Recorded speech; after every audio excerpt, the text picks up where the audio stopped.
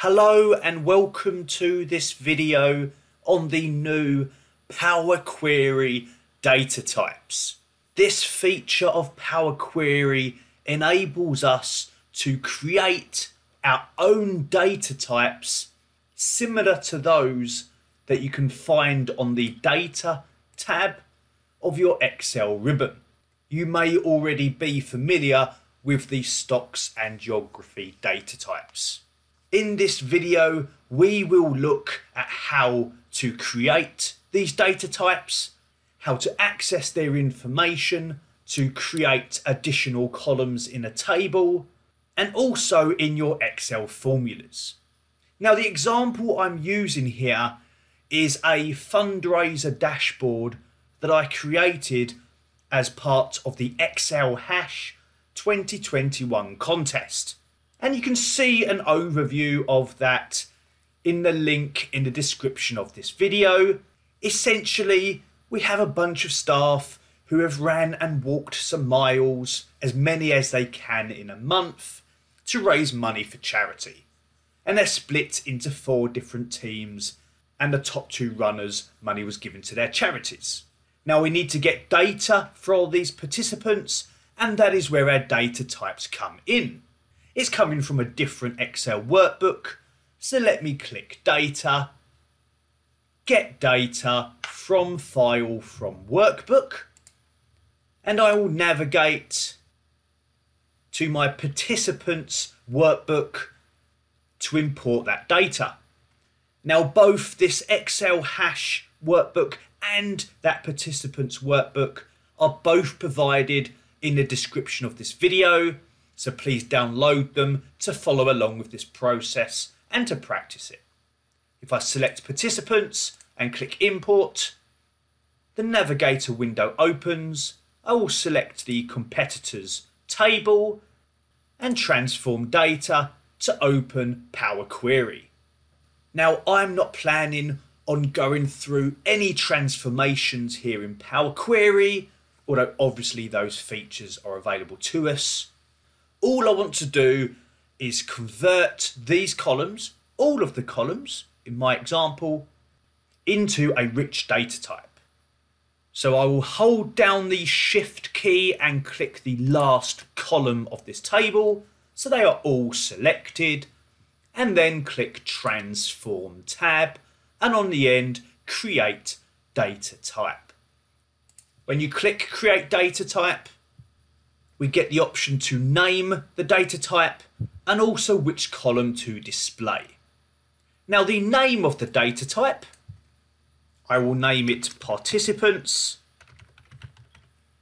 and the display column I will use the name of the participant. So when we click OK, all of those columns are combined into one record, one data type. And I will now close and load this to a table on a worksheet. The table will be on an existing worksheet and that worksheet is named competitors in A1 there.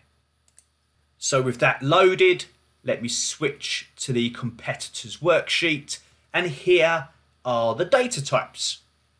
So multiple columns all combined into one. So it's reducing the clutter on our worksheet here. And if I wanted to see the additional information, there are a few different approaches for that. One of them is simply to click the data type icon next to their name. So for Ursula, if I clicked the data type icon, it shows a card and I can now see the team that she was a member of, uh, the charity she wanted to raise money for, her distance ran and walked in both miles and kilometres, and also some information about Excel and her, her preferred food choice. I can click it again to remove that card, and we can also add information into a physical column on this sheet just as you would normally in classic Excel use. Now there are two main ways of doing that. One of them is to use that icon just next to the header of this column right now. If I click that icon, it lists the different columns of this data type and I could maybe choose miles to display the number of miles logged. Another way would be to enter the header of what you want. So if I type fav excel formula into cell C1 here, that table will expand. So that's tables there, no surprise. But what's really cool is that it matched the header and opened up that information. Now I did need to know what the header was in that scenario, but it's pretty awesome. We could also just write a small formula.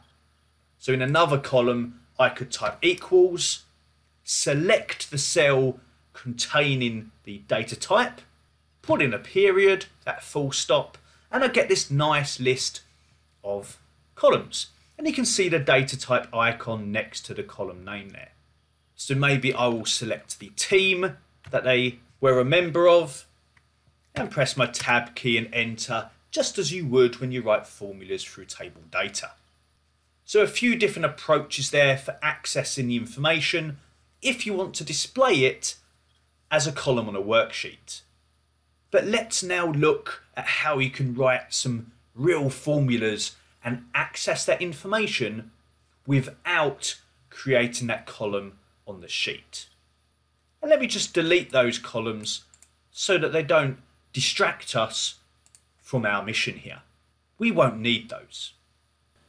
So here I am back on the fundraiser dashboard and let's begin with a simple sum function but then move in to an XLOOKUP and a filter function example. So for cell J2 we will begin a sum function and we want to access the miles column. Now we will do that by typing competitors because that is the name of the table. That was our query name that we imported. Then we open up those square brackets to access participants, which is the name of the column. Just like you would access any table column in the formula. Close off the square bracket. And then here comes that new element although we did see it a moment ago, which is the period, that full stop, then the name of the column, which is miles, close off the sum and run it, and I've summed the miles using a column which is not actually available on the worksheet. It's held within that rich data type, that combined column. Pretty awesome, hey? So let's take that another step further. I'm in cell J4. We want to return the winning team. Now I'm going to use XLOOKUP here. The lookup value is Angela's name. That's cell AH2. Comma, the lookup array. Now that is the array of names. So, competitors. Open square bracket participants, close and then name is the column, comma, the return array is the team name because I want that winning team. So it's competitors, participants, and then team. And we have the winning team returned, something special.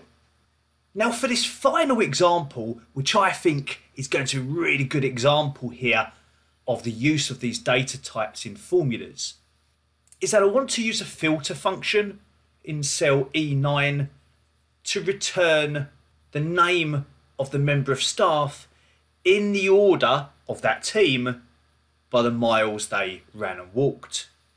Now rather than go through this formula completely right now, you can see for the other three teams this is already working. So let me just come over to one of the other cells. I'll copy that formula, paste it in here, and just say a few words on it.